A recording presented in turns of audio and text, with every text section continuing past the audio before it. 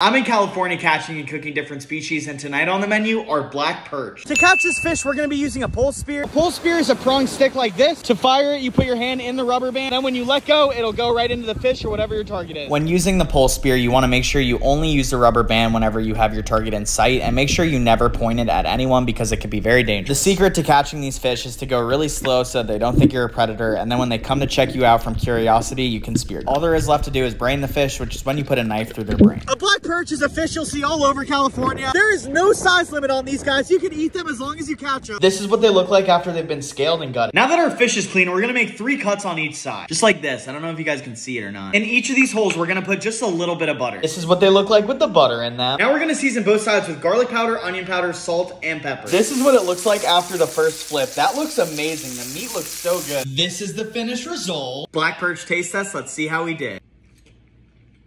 Wow. Guys.